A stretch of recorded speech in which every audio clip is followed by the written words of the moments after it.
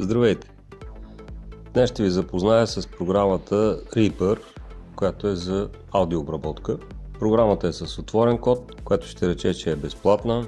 Можете да използвате за трите основни операционни системи, да бъде свалена от сайта на разработчиците.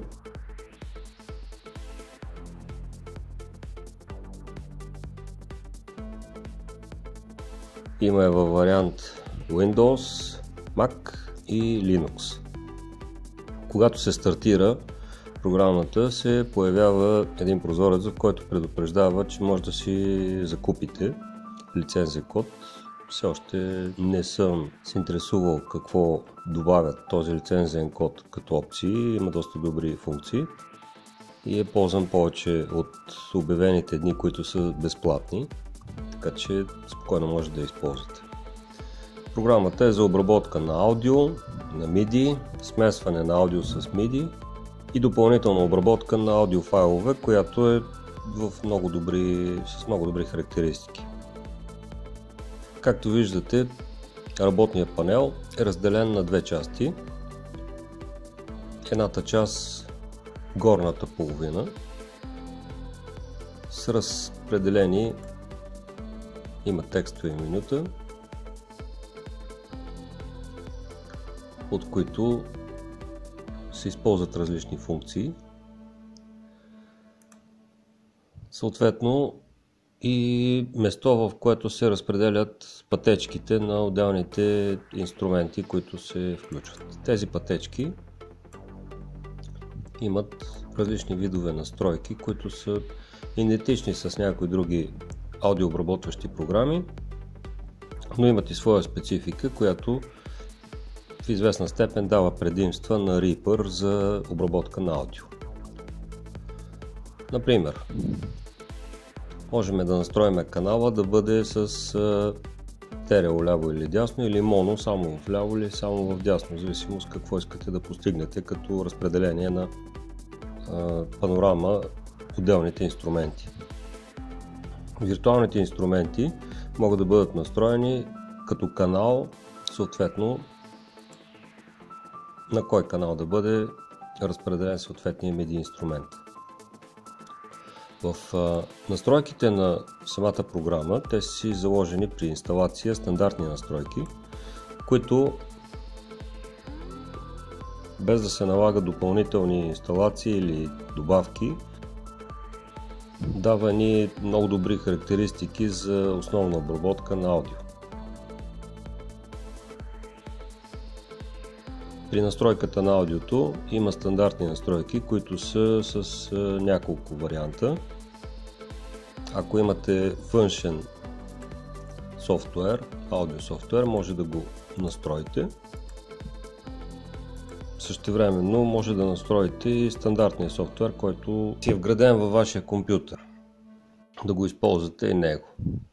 MIDI настройките са търсене на вход и изход, разпознава всякакви видове устройства и доста добре работи.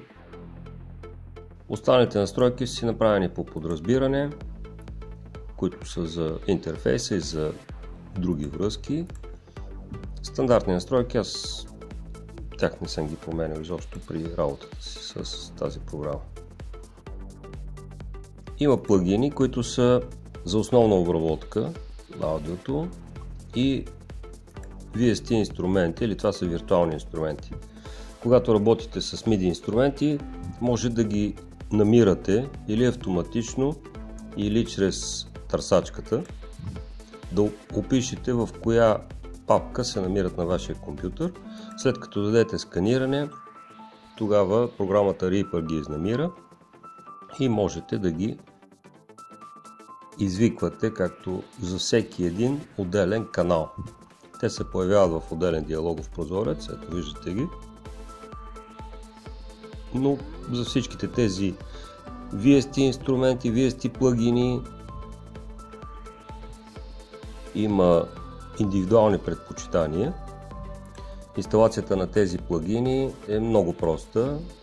Има доста безплатни, които можете да си ги свалите откъдето си пожелаете и от инсталационния пакет, който е на отделния VST плагин, ги събирате в една обща папка, в която извиквате от програмата Reaper да бъдат сканирани. И оттам можете да ги извиквате и да ги използвате в съответните панели. В долната част на прозореца, който е работния, в лявата част имаме бутони за работа, напред, назад, стоп, плей, пауза, запис и повтаряне. Тук имаме глобални настройки, които може да направите индивидуално всеки за себе си. Те са описани.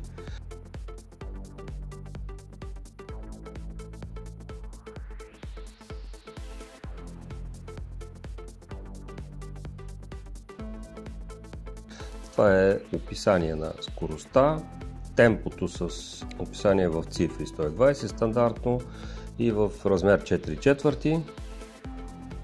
В долната част на панела ще бъдат разположени пулта, смесителния пулт на всички канали, които в горната част имат някакъв запис.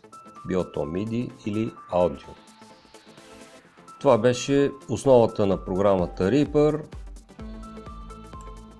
Съхранението става чрез файл render и в отворения прозорец. Записвате в коя директория искате да бъде експортирано, наименование на съответния файл, който ще съхранявате, семплирането в колко херца ще бъде.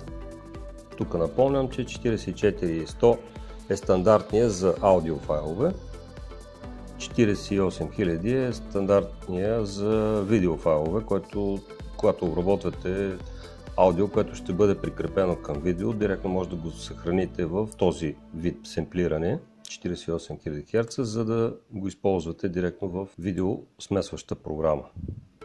Съответно може да го съхраните в няколко разновидности на аудио формати, Wave, OGG и така нататък. Те са различни, зависимост от това какво ви е необходимо. Ако изберете MP3, има всички разновидности на MP3 като битрейт компресиране.